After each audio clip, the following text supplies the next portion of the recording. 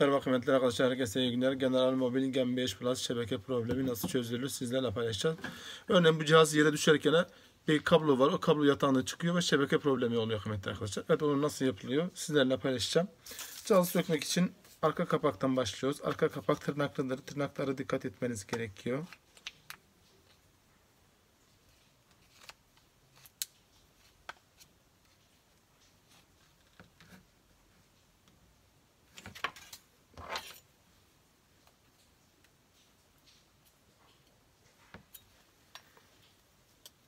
Cihaz elinize düştüğü zaman veya da çocuğunuz yere düşürür ya da duvara atar. Yani şiddetli bir şekilde yere düştüğü zaman kablolar yatağında çıkıyor. Sonrasında şebeke problemi olur kıymetli arkadaşlar.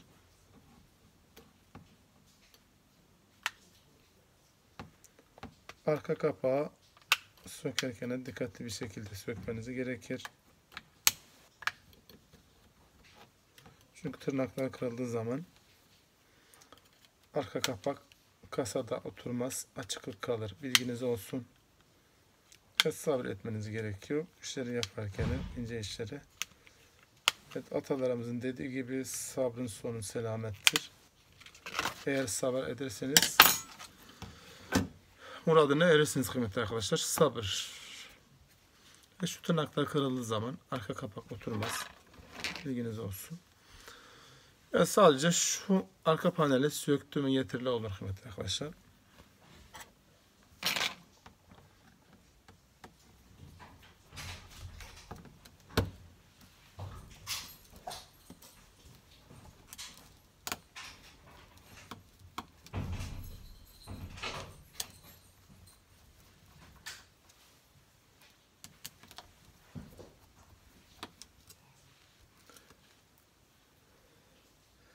İşte bazen bir parça değişimi yaparsanız o kabloda takmıyorlar. Bilginiz olsun.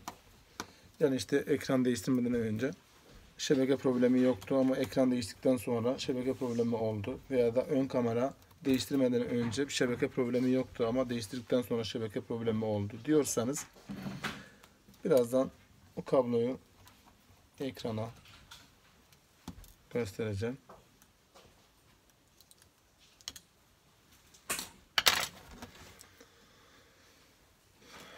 Sim yuvası da çıkarmanız gerekiyor. Sim yuvası çıkarmadığınız zaman anakartı sökemezsiniz. Çünkü takıdır bilginiz olsun. Evet şu anda sim yuvasını çıkardım. Evet şu anda bu filmleri de sökeceğim. Şu ekran soketi şu siyah kısmını kaldırıyoruz. Çünkü bazen siyah değil de beyazı kaldırmaya çalışıyor ve onu kırıyorlar bilginiz olsun. Kırıldığı zaman da değişmesi çok zor olur. Anakartın değişmesi gerekiyor o zaman. Bilginiz olsun. Bunlara dikkat etmeniz gerekiyor.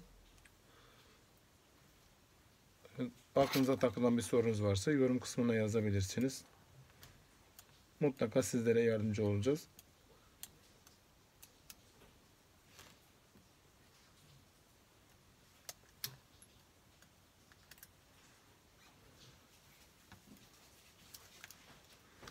Evet kıymetli şu anda göstereyim. Şu anda anakartı evet gördüğünüz gibi şurada bir kablomuz var. Kablo çıkmış gördüğünüz gibi. Kablo çıkık şu anda. Bazen ekran değişiminde oluyor. Veya da kamera değiştirirken ön kamerası. Yani işte bir şeyi değiştirirken mutlaka bu kabloyu kontrol etmeniz gerekiyor. Evet gördüğünüz gibi şu kablo yatağında çıktığı zaman şebeke problemi olur. Hemen göstermek istiyorum. Şuraya takılıyor, alta takılıyor. Soketi gördüğün gibi. Bunda herhangi bir koruması tıpası olmadığı için çabuk çıkıyor bilginiz olsun.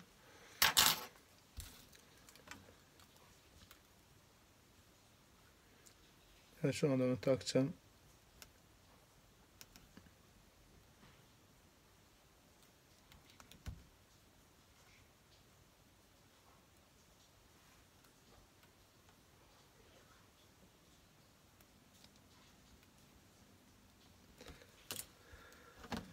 Evet gördüğünüz gibi kabloyu taktığımız zaman evet, görüyorsunuz. arkadaşlar. Şu anda bağlantısı ve şu anda anakartı görüyorsunuz. Bağlantı yerine taktık.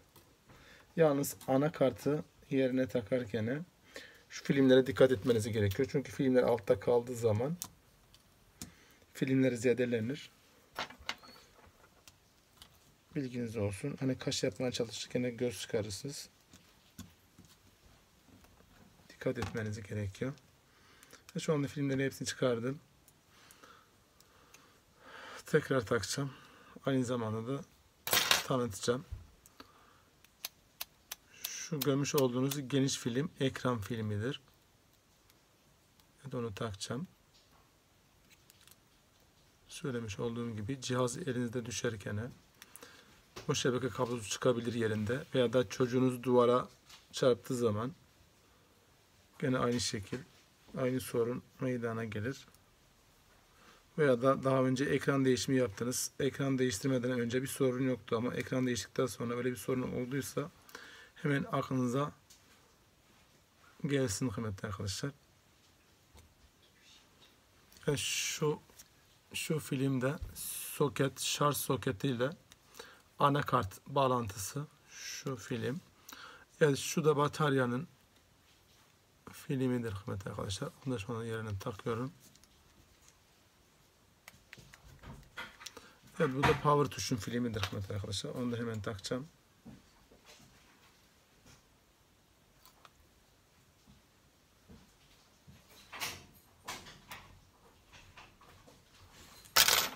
Evet şu görmüş olduğunuz kapaklara dikkat etmeniz gerekiyor. Çünkü onlar ters açtığınız zaman onlar kırılabiliyor. Çok hassastır. Evet arkadaşlar. Evet şu anda filmleri hepsini yerine taktım. Şu koruyucu kapak bazen cıvatalara buraya sıkışabiliyor. Bunu kapatırken dikkatli bir şekilde bakmanız gerekiyor. Çünkü o zaman hem anakarta zarar verirsiniz hem arka kapağa zarar verirsiniz. Bilginiz olsun.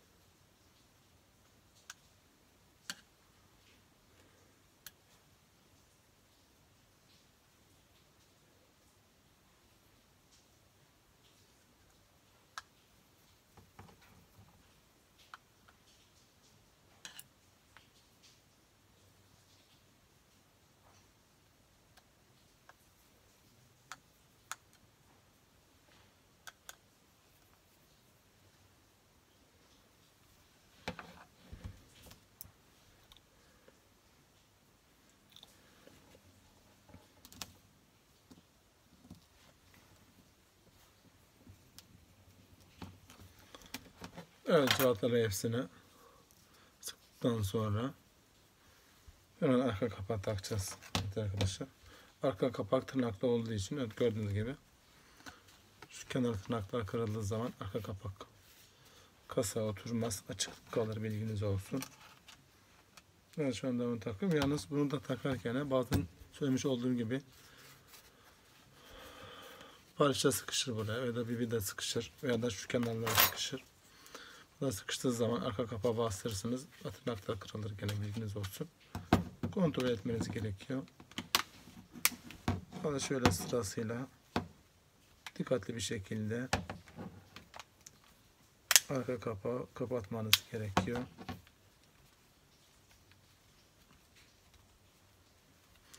Evet gördüğünüz gibi burada herhangi bir açık kalmadı. Çünkü söylemiş olduğum gibi dikkatli bir şekilde açtım. Evet gördüğünüz gibi. Hemen sim yuvası kaldı. Sim yuvası nasıl takılıyor onu da sizlerle paylaşacağım. Şu görmüş olduğunuz delik şu alttaki deliğe tamamlanacak şekilde takıyoruz. Çünkü bazen bu şekilde takmaya çalışırsınız. Gerçi biraz zor yerine göre ama genelde fazla bastırdığınız zaman hem şu kızak bozulur hem de sim yuvası bozulur. Bilginiz olsun kıymetli arkadaşlar. Şu delik alttaki deliğe gelecek şekilde ayarlıyorsunuz. Evet gördüğünüz gibi. Evet şu an sesi zaten geldi. Evet videonun sonuna geldik. Bir dahaki videoda görüşmek dileğiyle. Hoşçakalın. Sağlıkla kalın.